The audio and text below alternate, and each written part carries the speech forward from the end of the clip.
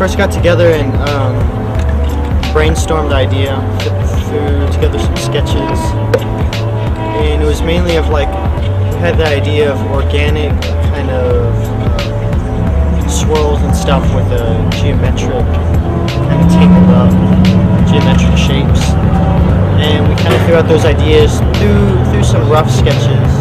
And so I came out here with a digital camera and took pictures of this place. Uh, with the graffiti on it, and then I took out my computer and I uh, took off the graffiti off of the Photoshop, and I drew out uh, an idea. And we got together again. We came up with another idea, but um, it looked like the first idea what we're gonna use. So I like the I like the idea. It looks good, but um,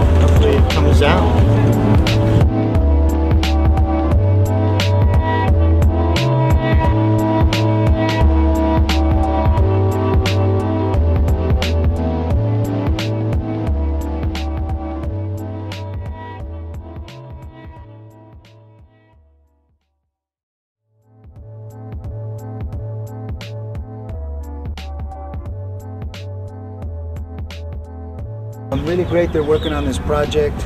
You know, um, being from this neighborhood, I went to Harlandale High School. Um, I really think it's important for uh, us to put back into our neighborhoods in some way. And uh, art is a good way to do it. Uh, it's visual. Um, it's a place where you can uh, express your ideas and the entire neighborhood sees it. So, uh, you know, being a successful artist from the south side of San Antonio, um, I think it's very important that I come back and support projects like this. But I think it's even more important that these kids get involved in things like this because artistic expression is very important to our raza. It's very important to uh, our people, our families, our culture. And I think uh, when these kids get a chance to be part of something great like this, it really lets them know that they have a voice in the community. And I think that's where our leaders come from. The future leaders of our community are going to come from these kids that are uh, putting this artistic expression up on these walls, you know, and they're helping these businesses. So we really appreciate these business owners giving these kids the opportunity to express themselves like this. A special thanks to Oscar Alvarado, who's going to be one of the uh, sculpture artists out here. And uh, thanks to the people of San Antonio who are going to help beautify this area. I really appreciate it. Go Indians! Southside.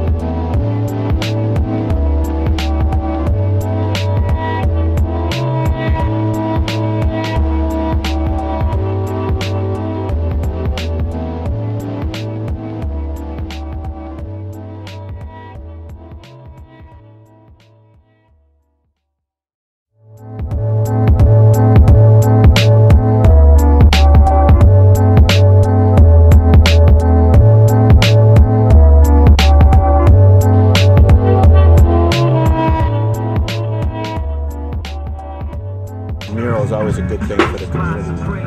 And I'm you know, really thankful that these artists have taken their time to, to, to do this work. Because it's, it's a huge task and it takes a lot of work as you can see. So I'm really grateful to the artists. So thank you very much to the artists.